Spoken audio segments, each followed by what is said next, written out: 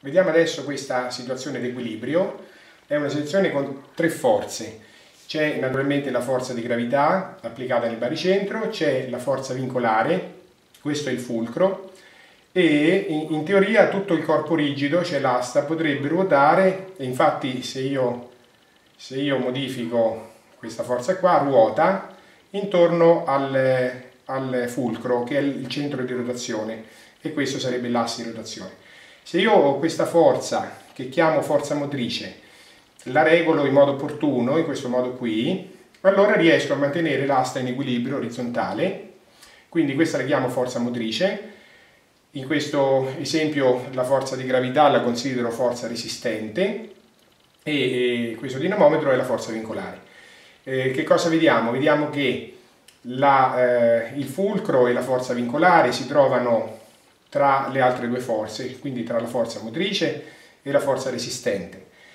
Eh, se andiamo a misurare, vediamo, sappiamo già che questa valeva circa 0,8 Newton, vediamo che adesso anche questa forza più o meno eh, vale 0,8 Newton, infatti eh, qui c'è 0, 0,5, ogni tacchetta è 0,1, quindi 0,5, 0,6, 0,7, 0,8 e eh, del resto questo non è strano, eh, si capisce perché queste due forze sono uguali.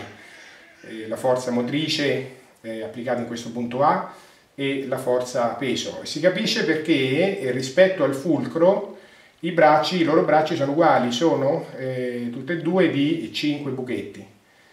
5 buchetti a sinistra, 5 buchetti a destra. Quindi se i bracci sono uguali, per la regola che abbiamo visto prima, anche le forze eh, devono essere uguali, quindi 0,8 Newton tutte e due. E vediamo anche che però la forza vincolare deve essere tale da eh, bilanciare queste due forze. Queste due forze, che sono appunto il peso e la forza motrice, sommate insieme fanno 1,6 Newton, 0,8 e 0,8, 1,6.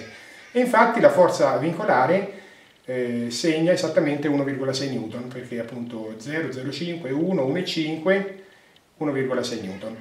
Questa appunto è una condizione di equilibrio e eh, è un caso generale in cui rappresenta un caso generale che cosa? Che la forza vincolare è, è sempre quel valore opportuno che eh, assicura che la forza totale sia zero. Quindi se non ci fosse la forza vincolare, queste due forze darebbero 1,6 Newton in basso complessivamente.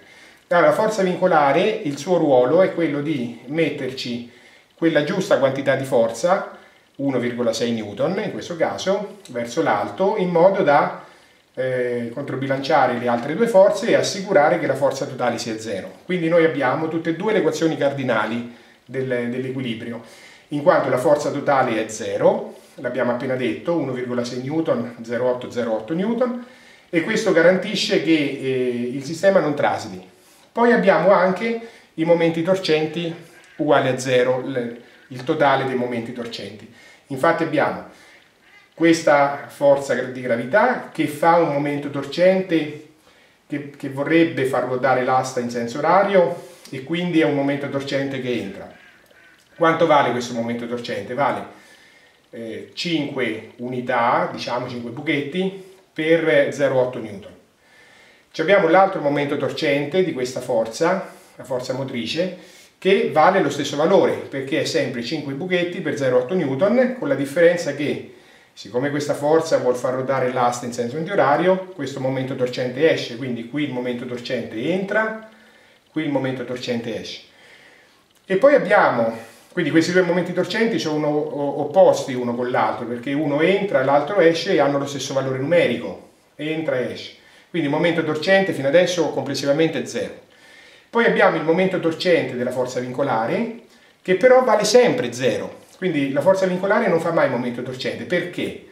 Perché il suo braccio è sempre zero. Infatti che cos'è il braccio di una forza? È la distanza dal fulcro, in pratica. Siccome questa forza è applicata esattamente nel fulcro, il suo braccio è zero. Quindi la forza vincolare, essendo sempre applicata nel fulcro, ha sempre braccio zero. E avendo sempre braccio zero non fa mai momento torcente. Quindi riassumendo abbiamo tre forze, ma solo due momenti torcenti, perché la forza vincolare non fa momento torcente, essendo applicata nel fulcro, e questi due momenti torcenti, uno entra, l'altro esce, sono uguali e contrari, si annullano. Quindi abbiamo anche 0 la somma dei momenti torcenti. Questa è anche eh, una leva chiamata leva di primo genere, perché il fulcro si trova tra le altre due forze, la forza motrice e la forza resistente, e in particolare è una leva indifferente. Indifferente perché? Perché io per contrastare 0,8 newton di forza resistente, forza peso, eh, devo fare la stessa quantità di forza, cioè 0,8 newton. Quindi è una leva indifferente perché i bracci sono uguali. Essendo uguali i bracci sono uguali anche le forze, quindi non ho un vantaggio, non faccio una forza più piccola né più grande. Faccio una forza uguale a quella resistente perché i bracci sono uguali, quindi leva di primo genere indifferente.